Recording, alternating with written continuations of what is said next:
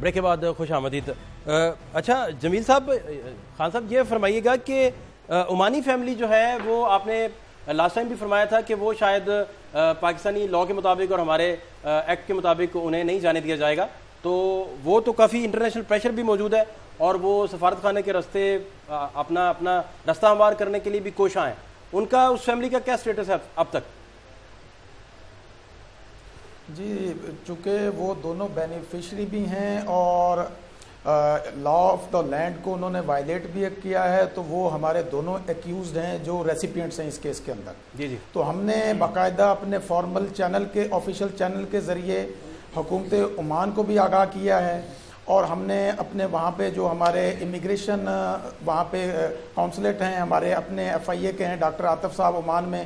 ان سے ان سے بھی ہم رابطے میں ہیں اور اس کا مقصد ایک یہ ہے بنیادی طور پہ کہ ایک تو ملزم تو انہوں نے بننا ہی بننا ہے، لیکن ہم تھوڑا سا اس سے اوپر جا کے ایک پیغام دینا چاہتے ہیں آپ کے توسط سے بھی اور فارمل جو آفیشیل چینل ہے اس کے ذریعے بھی کہ پاکستان تاکہ ایک سیف ہیون نہ سمجھا جائے انلیگل آرگن ٹریڈ کے لیے۔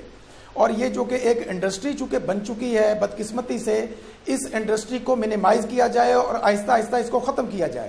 تو ان کا ایسا ایسا پریشر نہیں ہے، وہ رابطے میں ہیں۔ ان کو ہم نے حالات سے ان کو آگاہی دی ہے، بتایا ہے کہ انہوں نے ہمارے قانون کی خلاف ورزی کی ہے۔ اور باقی جو لوگ ان کے لواحقین ہیں، ان سے بھی ہم پوچھ گچھ کر رہے ہیں۔ اور ہم نے ان سے بھی گزارش کی ہے جو وہاں پہ ہیں عمانی گورنمنٹ کے لوگ لا انفورسمنٹ ان کو گزارش کی ہے کہ آپ ہمیں بتائیں کہ عمان میں بیٹھ کے جو لوگ آپریٹ کر رہے ہیں، اس ہینیس ریکٹ کا حصہ ہیں اور وہاں پہ بیٹھ کے جو ایجنٹ اور سب ایجنٹ کا رول ادا کر رہے ہیں، جو لوگوں کو بک کر رہے ہیں اور وہاں سے یہاں پہ بھجوا رہے ہیں اور یہاں پہ ان کو پھر ریسیو کرنے والے، چونکہ یہ ایک گلوبل فنومینا ہے کہ یہ ایک بین الاقوامی ایک ریکٹ ہے۔ لاہور سے بیٹھ کے اکلوتا آدمی کچھ نہیں کر سکتا۔ ان کی پریزنس خلیجی ممالک کی باقی ریاستوں میں بھی ہے۔ لیبیا تک ہے اچھا ہم نے ایک کثیر تعداد لوگوں کی ڈیٹا لے لیا ہے۔ خان صاحب میرے ساتھ آپ موجود رہیے۔ پچھلے پروگرام میں آپ ہی کے ساتھ جو ہم نے گفتگو کی اور جب یہ کیس بڑی ارلی سٹیجز پہ تھا جب آپ سے گفتگو ہوئی دیگر ہمارے پینلسٹ لوگوں سے ہمارے دوستوں سے دیگر سے ٹاک ہوئی اس وقت آپ کے ویوز اور ہم نے آپ سے کیا کیا سوالات کیے میں چاہتا ہوں کہ ناظرین آپ بھی سن لیں۔ ناظرین دیکھیے گا کہ اس وقت ہم نے کیا پوچھا تھا۔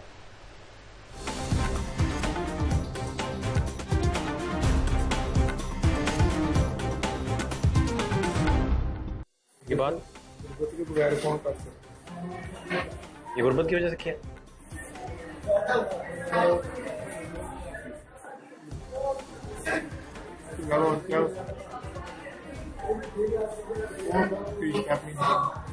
کتنے بچے تین بیٹیاں ایسے تو کیسے گزارا کیسے؟ شکر اللہ پاک ہے جو بھی دیتا ہے وہ مالک ہے اخباروں میں کسی کا قرضہ دینا وائف کو بتایا کیا ہے آپ کیا کرتے ہیں؟ میں ساری دینا وہ اینک ٹوپی اور بیچتا ہوں۔ اور یہ باندھتے ہیں بچی واٹ چھوٹا جی لگاتے نہیں جا سکتا۔ ایسے۔ ڈیڑھ سال سے میں یہ کر رہا ہوں ڈاکٹر فواد کے ساتھ۔ خان صاحب، میں میں چاہتا ہوں کہ اس میں جیسا کہ آپ فرما رہے تھے کہ وہ بیچارے جو غریب لوگ ہیں، جس میں نہید اختر شامل ہے عامر شامل ہے رکشہ ڈرائیور ہے، ایک ایک بیچاری گھریلو ملازمہ ہے۔ تو جیسا آپ فرما رہے تھے کہ شاید ان کو ڈیٹین کرنا مزید زیادتی ہوگی، تو اس میں آپ یہ نہیں سمجھتے کہ ان کو ان کے ساتھ تو یہ بھی چیٹنگ ہوئی کہ ان کو ان کے گردوں کے پیسے بھی نہیں ملے، ان کو کوئی پیمنٹ ہوئی آپ کی اطلاعات کے مطابق؟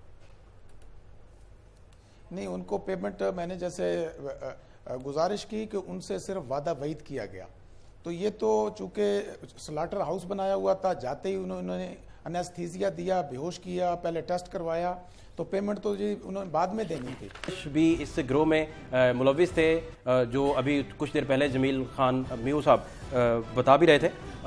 ڈاکٹر سلمان صاحب یہ یہ کیا صورتحال ہے؟ تو ہم نے صرف میڈیا کی رپورٹس پہ ایکٹ کرتے ہوئے نہ صرف گردے کی اس پیمند کاری کی مذمت کی بلکہ اس میں ملوث تمام افراد کو ہم نے سزا دلانے کی بھی آپ ناظرین سن رہے تھے اور سلمان حسیب جو ہیں، یہ لاسٹ پروگرام میں ہمارے ساتھ وائی ڈی اے کے اسپوکس مین کی حیثیت میں ادھر موجود تھے۔ اور اسی پروگرام میں ان کی جانب سے جمیل خان صاحب سے سوالات بھی کیے گئے اور انہوں نے بہت سارے تحفظات کا اظہار بھی کیا اور تحقیقات کو بہت سارا چیلنج بھی کیا۔ اور اس کے بعد کے جب حالات بنے تو شاید وائی کی جانب سے کسی طرح کے تحفظات جو ہیں وہ جتنے بھی تھے، وہ سارے دم بھی توڑ گئے۔ اچھا خان صاحب، یہ گفتگو اس پروگرام کی تھی اور صورتحال دیکھیں ادھر کی ادھر ہے، آپ کتنا کامیاب ہو جائیں گے ان غریبوں کو پیسے دلوانے کے حوالے سے؟ اور وہ غریب غربا جو آپ سے رابطہ کر رہے ہیں، بھٹا مزدور اور دیگر افراد، ان کی پیمنٹس بھی نہیں ہوئی ہوں گی، ان کا آپ پھر کیا کریں گے؟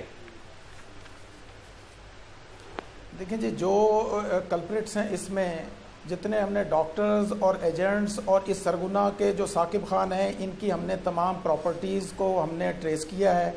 ان کو اٹیچ کروائیں گے۔ اور جو بھی اس کرائم پروسیڈ سے انہوں نے ایسٹ بنائے ہیں، ان ایسٹس کو ہم اینٹی منی لانڈرنگ لا بھی اپلائی کریں گے۔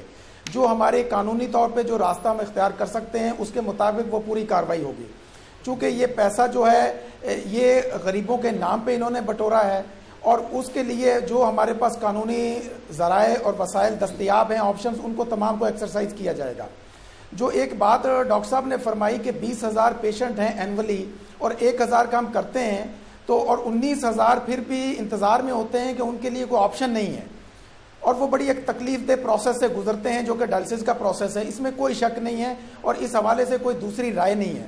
لیکن میں گزارش کروں کہ یہ جو انلیگل ٹرانسپلانٹیشن گھروں کے اندر ہو رہی ہے، یہاں پہ جو میں نے متعلقہ ڈاکٹر سے رابطہ کیا اور میں نے سنا ہے، سمجھا ہے، وہ کہتے ہیں کہ جی نائنٹی فائیو پرسنٹ لوگ کی سروائیول ہی نہیں ہوتی۔ وہ ڈپینڈ کرتا ہے کہ وہ چھ مہینے کے بعد ٹرانسپلانٹیشن کے بعد اس کی ڈیتھ ہو جائے، پانچ سال کے بعد ہو جائے یا دس سال کے بعد ہو جائے۔ اس نے باقیہ جتنی بھی زندگی گزارنی ہے، اس نے میڈیسن کے بلبوتے پہ گزارنی ہے۔ اب اور وہ یہ چیز ثابت اس طرح ہوئی کہ جن لوگوں نے ڈونرز نے ہمارے ساتھ رابطہ کیا، جن کا سال پہلے گردہ نکالا گیا تھا، دو سال پہلے نکالا گیا تھا، ہم نے اسے پوچھا کہ بھئی ابھی آپ کی صحت کیسی ہے؟ بھٹا مزدور کہتا جی میں ابھی مزدوری نہیں کر سکتا۔ بھئی کیا کرتے ہو پھر؟ اس نے کہا، سر، دو اینٹیں میں اٹھاتا ہوں تو مجھے پین شروع ہو جاتی ہے۔ اور میرے پاس پیسے دوائی کے لیے بھی نہیں ہے بدبختی یہ ہے، کہنا میں یہ چاہ رہا ہوں کہ یہ جو ایکٹ ہے جو مسیحوں کے روپ میں جو درندہ صفت یہ لوگ کام کر رہے ہیں ان اتھرائز جگہ پہ ان ایتھیکل جگہ پہ ان ہائیجینک جگہ پہ وہاں پہ ڈونرز کی کوئی سروائیول نہیں ہے۔ ٹھیک ہے ہمیں یہ سپورٹ نہیں کرنا چاہیے کہ زیادہ ہے۔ خان صاحب اجمل لکوی صاحب کا رسپونڈ جی جی نقوی صاحب۔ ایک میں پہلے بات کلیئر کرنا چاہوں۔ میں ذاتی حیثیت میں اور اپنی ڈاکٹر برادری کی حیثیت میں اور پی ایم اے کے فورم سے۔ یہ کلیئر کٹ آپ کو بتا رہا ہوں کہ ہم یہ انلیگل کام کے اگینسٹ ہیں جی بالکل۔ اور ان کو سزا دینے کے حق میں ہیں۔ جی بالکل۔ لیکن میں یہ صرف یہ عرض کرنا چاہ رہا ہوں کہ اس کا حل کیا کیا جائے۔ اس کا ہمیں کسی حل کی طرف آنا چاہیے۔ پرابلم کے آپ نے بھی نشاندہی کر دی میں نے بھی کر دی۔ اس کا مجھے پلیز کر لیں گے کہ میں یہ عرض کرنا چاہ رہا ہوں کہ ایک تو یہ غلط تشہیر بند کی جائے، یہ جو سارا سلسلہ شروع ہو جائے ورنہ وہی حال ہوگا جو سٹینٹ ڈالنے سے پہلے کارڈیالوجسٹ کے پاس اب کوئی بھی بندہ جاتا تو اس کو مشکوک نظروں سے دیکھتا ہے کہ یار مجھے صحیح ڈالو گے اصلی یا نقلی، کہ جو حالانکہ کانسیپٹ نہیں تھا۔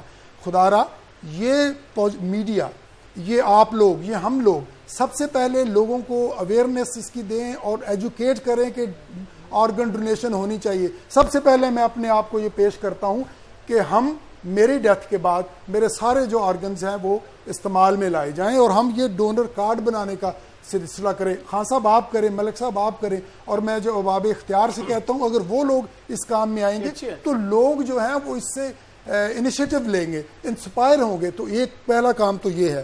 دوسرا کام یہ ہے کہ گورنمنٹ جو ہوتا جو ہے وہ ریگولیٹری پالیسی اپنی بنائیں ہرڈلز کریٹ نہ کریں۔ لوگوں کو تکلیف دے عمل سے نہ گزارے تیسرا یہ ہے کہ جو سینٹرل جو ایک ڈیٹا جو ہے وہ دیا جائے کہ کتنے لوگ ہیں، اس کے حساب سے بجٹ ایلوکیٹ کیا جائے، اس کے حساب سے ہم ہاسپٹل بنائیں، اس کے حساب سے بیڈ دیں، اس کے حساب سے سرجنز اور ہیلتھ پروفیشنلز بنائے جائیں کہ جن کا ہم یہ کام کر سکیں۔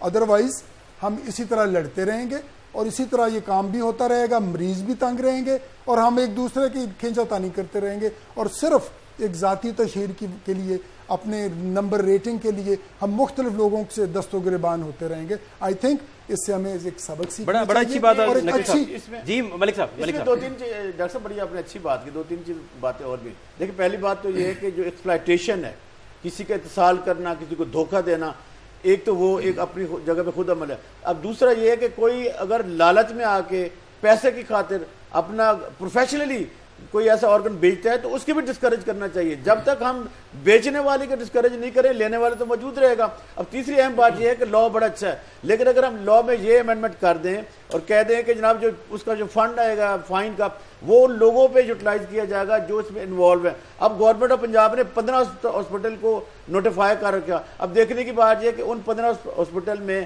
اس ٹرانسپلانٹیشن کی کوئی گنجائش ہے بھی کہ نہیں ہے؟ وہاں ایکسپرٹ ہے کہ بھی نہیں؟ ان کی لیب اچھی ہے کہ نہیں؟ اور چوتھا اہم پوائنٹ یہ ہے کہ جب بھی کوئی آرگن ٹرانسپلانٹ ہوگا آپ ماشاءاللہ اس فیلڈ سے تعلق رکھتے ہیں۔ میں میڈیسن کا طالب علم نہیں ہوں لیکن مجھے یہ معلوم ہے کہ اس کا ٹیشو میچ کرنا ضروری ہے۔ اب یہ جو ٹیمپریریلی لالچ کی صورت میں آگے کسی کا آرگن لے لیتے ہیں اور وہ لگا دیتے ہیں بعد میں دونوں ایکسپائر ہو جاتے ہیں۔ بالکل ٹھیک بالکل ٹھیک۔ تو یہ تشریح بھی ضروری ہے لا پہ امپلیمنٹیشن بھی ضروری ہے سزا بھی ضروری ہے۔ سب کچھ ڈونیٹ کر دیں گے آپ نے ابھی فرمایا۔ جی میں بالکل اس پہ کہتا ہوں اور میں یہ ساروں کو دعوت دیتا ہوں کہ اس اس نیگیٹیوٹی کو پوزیٹیوٹی کی طرف لے کے جانا چاہیے۔ ہم کیوں آپس میں لڑتے رہتے ہیں؟ حل بھی تو بتائیں۔ میں بھی یہ آپ کو اناؤنس کرتا ہوں کہ ایک سماجی کام شروعات کے لیے میں بھی اپنے آرگن ڈونیٹ کرتا ہوں۔ جب میں دنیا میں نہ رہوں تو آپ سن رہے ہیں۔ میں فیملی کو بھی کہوں گا کہ میرے آرگن ڈونیٹ کر دیں ٹھیک ہے۔ بالکل جمیل خان صاحب آخری آخری بات آپ سے یہ جاننا چاہ رہا ہوں کہ یہ مزید اس میں آپ سمجھتے ہیں کہ بہت سارے نیٹ ورکس بے نقاب ہوں گے۔ جی بالکل، ہم نے تمام جو نیٹ ورکس ہیں، ہم نے ان کو آئیڈینٹیفائی کر لیا ہے اور یہ بڑی ایک اچھی پروگرس ہے کہ ہم نے مختصر ترین وقت کے اندر ہم نے چودہ لوگوں کو گرفتار کیا ہے۔ اور یہ چودہ وہ لوگ تھے جو کہ بالخصوص پنجاب کے بڑے شہروں میں یہ آپریٹ کر رہے تھے۔